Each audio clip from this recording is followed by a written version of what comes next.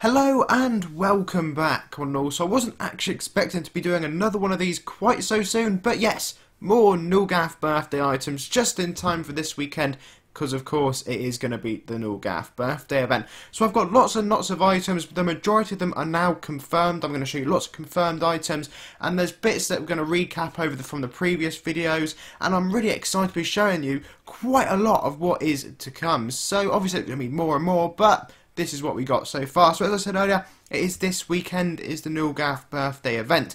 So it's all based around Crag and Bamboozle. Well, mainly Crag. He's the little guy that throws diamonds into his mouth. Of course, he's the rock guy. So that's all I've got really to say on Crag. Anyway, so let's get into this properly. So Dragon King of Nulgath, this set looks absolutely amazing. I think it's absolutely huge. Those wings are massive. Quite like the colours on it. I'm not too sure if this one will be colour custom. I'd say fairly unlikely, but who knows? Most Nulgath sets end up being colour custom, but I absolutely love it. Those wings, if you're a collector of dragon wings, they are something else. They are absolutely massive. But that's one thing that is definitely confirmed to be coming. So next up we've got the Transcendent of Turk. Of course this is the female version, I have shown you a male version and we thought it had a different name originally but this is what we have got. Now again this one I'm pretty sure is 100% confirmed and will be coming into the game so that is what the original sort of concept was behind it so now we've got both of them and of course it does appear to become this nice blade pet as well, can't go wrong with one of them.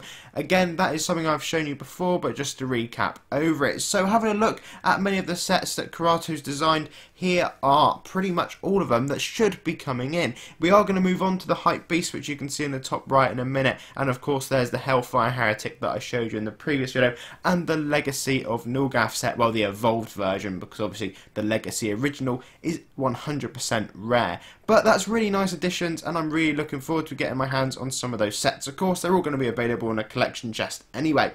So here it is, the Hype Beast of Nulgath for all the ultimate fanboys and girls out there of Nulgath. You can dress up like this if you want. Now, there is a little effect that I'll show you in a minute. I prefer the female version to the male version, so hopefully I will be getting that on my Miss Goon account well, maybe this weekend. I've got some adventure coins on there to spend, haven't we, left over from Frostival. And there again is the effect. Now the gun, or the zapper, whatever we're going to call it, the Nulgath fan girl boy gun thing, is actually going to be colour custom, so that's worth noting. Now, I'm just quickly going to show you the male version here of the Hellfire Heretic. Last time we only had the female one, but I think the male version is looking absolutely awesome, and this isn't just a Frostal set, this will actually be coming out properly, so this is something again to be extremely excited for. The Cultist of Nulgath set, now I'm not sure if this one is actually confirmed or not, or whether this is just a bit of fan art, but I guess time will tell, but again, a very nice Void theme set, so who knows, it would be a good addition to the game if it is, of course, added. So this is set by Darkon. I'm not actually sure if it's going to be called Debris 92.3, whether that's just some sort of code name or I'm totally missing the plot with it. But it's got an awesome axe. That axe is one hell of a nice colour custom axe, and it has a really, really cool effect with it. So I'll definitely be getting that weapon, however we may get our hands on it. Here we have a really nice little Moglin theme set. I can't say the name of it, and I've tried recording it so many times now, I've literally given up. But it does come with these Pokemon faces, sort of Pikachu, Pichu style things, so who knows if we will end up seeing those, but some of you may end up wanting to. This is the Yokai Ratnegade. That was really tricky again to say.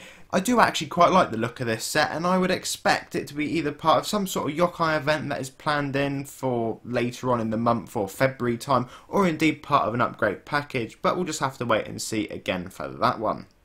So last but not least is this Void Cowboy set. Many of you may recognise this of course from Oversoul, but there's talk of bringing some Oversoul sets into Adventure Quest World, which would be quite a nice idea. So everyone, thank you all very much for watching. Make sure you give this video with a like and of course subscribe. And I hope you all enjoy whatever Nulgath's birthday event has for us this weekend. Until next time, have a lovely day.